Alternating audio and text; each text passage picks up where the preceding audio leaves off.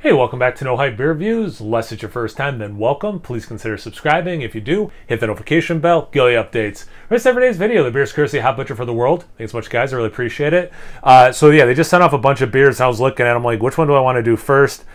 This one's got Sabro in it, so I'm like, you know what? I think this is going to be the one. Uh, so it's Nelson and Sabro hopped. It's an IPA. It's at 7% ABV. I'm not looking at the uh, tasting notes until after I give my thoughts. But yeah, I'm super excited to try this proper glassware so you know it's going to stick to the coaster. I mean, you know it's going to taste better.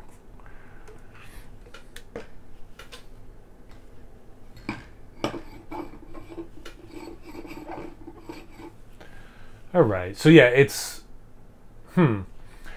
Probably because it's so hazy. I'm, I'm wondering the way the lighting is. For me, it's a little bit more orange than yellow, but like almost 50 50. So I'm thinking it's probably a little lighter with what you're seeing. So maybe it looks a little bit closer to the 50 50 orange and yellow. But yeah, it's definitely like juicy looking, uh, you know, nice, I would say like thick haze. Uh, one finger of barely off white head, compact bubbles. Definitely looks like, you know, New England style double, single or double IPA. Um, not a whole lot of lacing sticking around. Well, I guess a little bit. Anyway, that's what it looks like. Let's get to that aroma.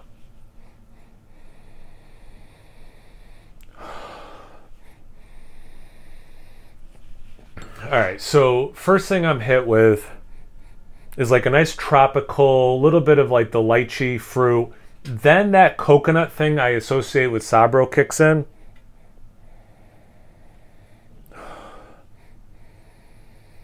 And it's what's nice about it about the Sabro is even like the like the most Sabro forward coconut forward beer with sa- like from the Sabro, it's never like suntan lotion. It's never like that kind of like gross or not gross, like too much. It's it's one of the things there, but it's like unmistakably that thing. But yeah, definitely like you know just kind of like a tropical medley I mean, it's like kicking, actually, maybe even a little bit of pineapple. It's like pina colada vibes. That poor Nelson, I'm not getting like my white wine like I usually do. Or even lemon. Yeah, it smells fantastic. Like, it, like, it's nice. Let's get into the taste. I don't know why I just made that noise. Cheers. I don't think I've ever done that in a review.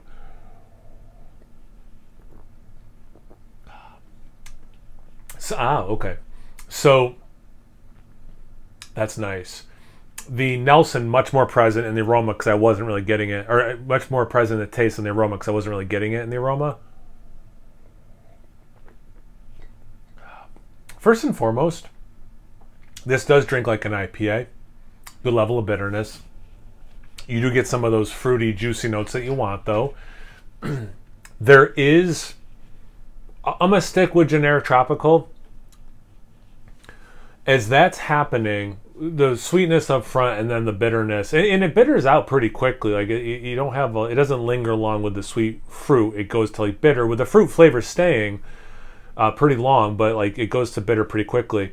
Um, then like layering on top of the tropical, somewhat displacing it, but it's still there somewhat. So it's like more like layering on top, like displacing somewhat, and then layering on top is probably the most accurate way of saying it. Then I get like the Nelson-y stuff, like the things I associate with Nelson. A little bit of white wine, a little bit of lemon, um, and then the kick, the punch, the kiss, probably more than a kiss, of the specific coconut and almost like this. I'll have to look for it again, like maybe a vanilla note with that coconut, which is kind of cool. Um, or maybe like more, I don't know, like it, it's reminiscent of again like pina coladas maybe like a little bit of pineapple in there but two hops i don't really think of like pineapple specifically. That might be a cool beer like galaxy and sabro. Galaxy vic secret and sabro and try to make like a pina colada beer. Man i love that aroma. A little vegetal too. Like herbaceous vegetal vegetal that i didn't get before it's the only thing new I'm getting as it's opened, maybe warmed a little bit. I have some on my palate, you know, so that's like the only other thing I'm pulling now in the aroma. Man, it's, it's just nice smell.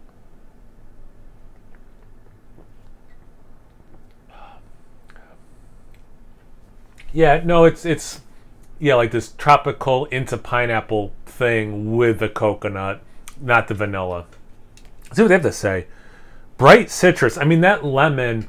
Lemon is such a bright taste. I don't think to say bright, but like, yeah.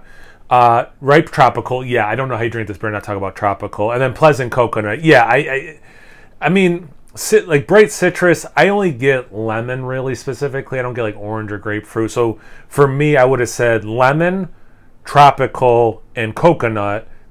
They said citrus instead of lemon, but the tropical and coconut's the same. So I, yeah, I think we that's basically us agreeing. It is a short version of that. This beer is phenomenal.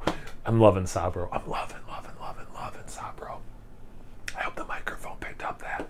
Uh, but yeah, thanks again for sending it, guys. I really appreciate it. Have you guys had this beer before? Have you had a beer with Sabro lately that you want to talk about, or this this combination of Nelson and Sabro together specifically, let me know in the comment section below. Get a conversation going. Once you're done doing that, make sure you check me out on Instagram and on Untappd. It's no hype beer reviews both those places. So always please like, comment, subscribe, and most importantly, imbibe. Cheers, everyone. Let me know if you stayed for that nonsense in the comment section below.